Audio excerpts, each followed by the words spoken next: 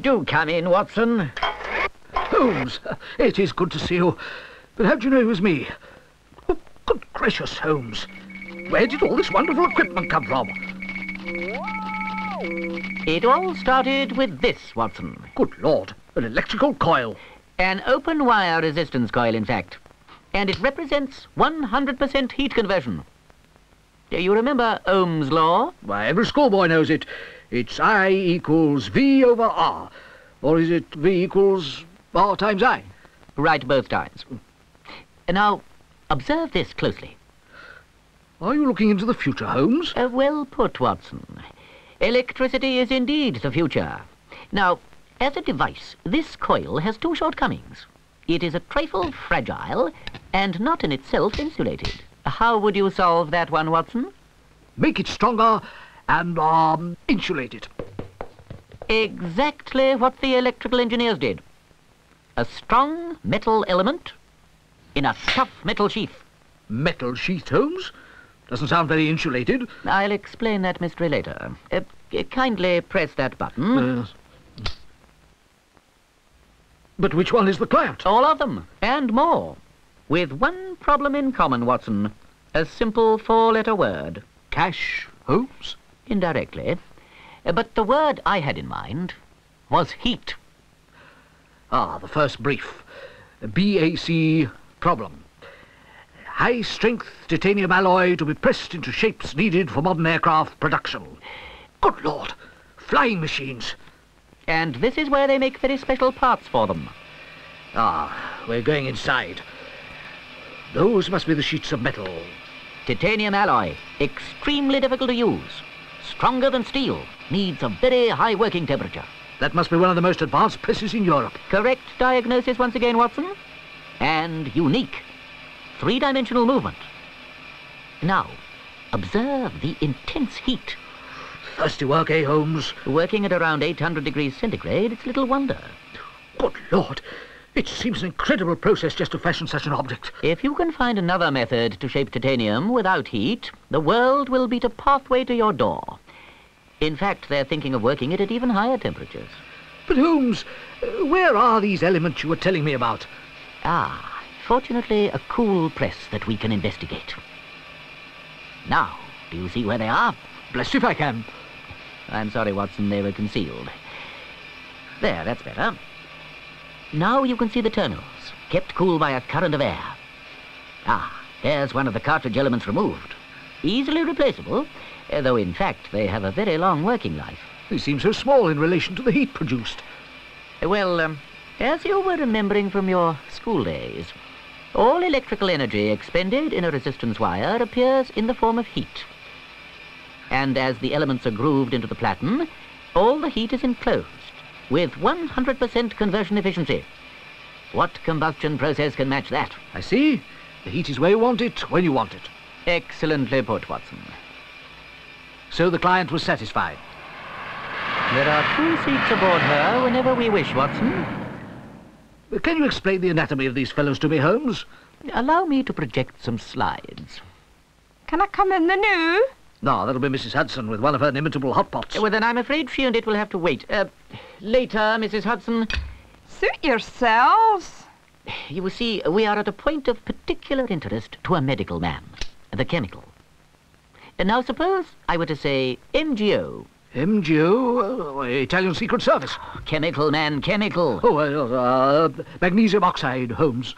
And what do we know about magnesium oxide? Uh, good electrical insulation properties at high temperatures and um, good thermal conductivity. Uh-huh. And add to that availability at the right price, and you see why it is used.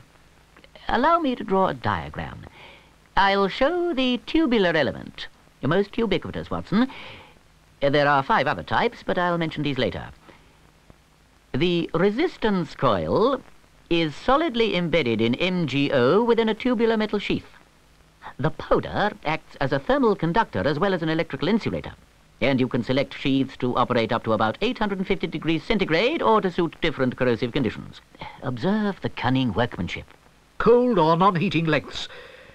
Is this not contrary to the idea of a heating element? It is essential to have cool terminals, Watson, and to take them outside the heat zones. Cool terminals, of course. This wouldn't do for the connections to melt. Uh, Quite so. Are there many types of terminals, Holmes? Well, here are some of the terminal connections. Observe the flexible tail wire, brazed, welded, or crimped to the cold lead. Alternatively, solid terminals like these. Peculiar nomenclature, Watson, and each with a purpose. Let's look at the variety of elements I mentioned earlier. Tubular, easily bent into loops, coils, hairpin bends. Sounds fun, Holmes. Yes, yes, they're the most versatile of the group, hence the most commonly used, Watson. Cartridge. Well, we've already seen one of them in action. Mainly used for the localized heating of solid metal bodies. Can't beat a good cartridge in a tight corner, Holmes. Strip elements. Uh, strip, Holmes? Uh, for clamping to flat surfaces like platens, or for heating gases, as in ovens. Don't tell me, Holmes. These are ring elements. Precisely. Excellent for heating small areas, uh, glue pots and so on, or for spreading over larger areas. Now, band elements, ideal for cylindrical surfaces, say extruder barrels for plastics. There's no end to them, Holmes. There's no end to this one, Watson. Mineral insulated heating cables, ideal for wrapping round tanks, pipelines to keep things hot, or coiled to make a heater. Well, we've seen a solid being heated. Let's look at the heating of liquids. Uh, This is the metal finishing shop at Fordhouses works of Lucas Aerospace Limited. What's going on, Holmes? Electroplating. What? Those floating golf balls? Oh, no, no, no, no. Those are there to prevent heat loss. Electroplating? Well, I see no evidence of cutlery. Uh, No, these are all sorts of components in the aerospace and other advanced technology fields. Which one is that? That is a gimbal. Of course it is. Uh, a gimbal. Electroplating liquids need heating. And here is a closer view of an empty tank showing the over-the-side heaters. Of course, there's no end to the liquids that can be heated, uh, provided that you use the right metal. Any more solids, Holmes? Positively thousands. Uh, But I think this will appeal to you, Watson.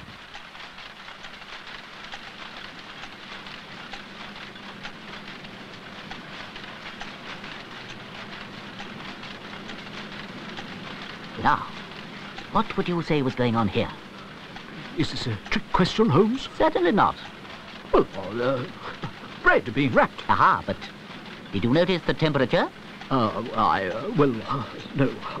Let's have another look. Oh, 150 degrees centigrade. I say that's a bit different from the 800 degrees needed for titanium. Well, what they need here is a controlled heat, uh, just sufficient to melt the wax on the paper at speed. See how neatly the elements are built into the process. Oh, I like that, Holmes. The staff of life. Uh, quite so. And uh, if you'll forgive the pun, Watson, now the stuff of life. That's the Birmingham Post. But I can't see any printing. No, this is the central melting pot, and it holds 60 tons. Yesterday's news being melted down ready for today's. Those stereo plates weigh 56 pounds. What's the metal, Holmes? Lead with tin and a dash of antimony. In a way, this is like liquid heating. Uh, Quite so. Heaters immersed in the metal, Watson, and brought over the side. What a convenient arrangement. The metal travels up those pipes, kept hot by mineral-insulated heating cable, and lagged. You see the beauty of using electricity, Watson. No bulky fuel stores, no flues, no waste heat. Space economy, Holmes. Now, here's the mold made from the typeset. I can't believe it. It has to be dried, and uh, using infrared, again electrical. It's then placed on the casting machine. The metal flows from the pipes into the pot where it's kept hot by immersion heaters. It's being poured in under pressure at 300 degrees centigrade. And now you appreciate why the mold has to be dry. Or we should have had lead flying about all over the place. Northwest frontier all over again, hey, Holmes? Yes, quite. Now the plate is turned out. It's cooled and is then on its way to meet the paper. And presto, another edition. Once again, our old friends, the MSE, keeping everything hot. hot off the press and hot onto the press, eh, Holmes? It's a wonder that you kept out of journalism, Watson. Oh. Incidentally, the Birmingham Post has given us a lifetime subscription. What heating problem did you solve at Stourbridge Glass? That's Tudor crystal, isn't it? Watson, your bulldog tenacity knows no bounds. Oh, sir. On with the reel, then.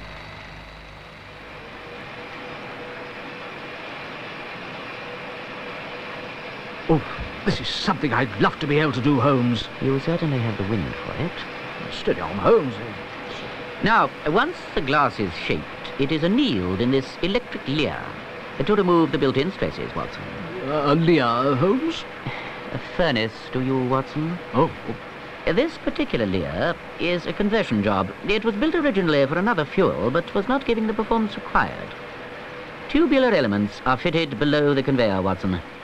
Electricity means a consistently high performance, and there's no pollution inside or outside. Easy to provide different heat zones to give the right heating cycle. Aha, here we see the emergent products. They've just passed through the cooling section. beautiful, Holmes. So the metal sheath element serves the craftsman too, as well as the technician. Very few industries can get far without heat, Watson. Once again, you were suitably rewarded, Holmes. To MSE. MSE? Metal sheath elements, Holmes. Ah, indeed, to MSE. Hmm. Ah. Now I'll give you a toast. To the ISE, ISE? the Industrial Sales Engineers. More pictures, Watson? Their methods are very like my own, Watson, and consequently very sound.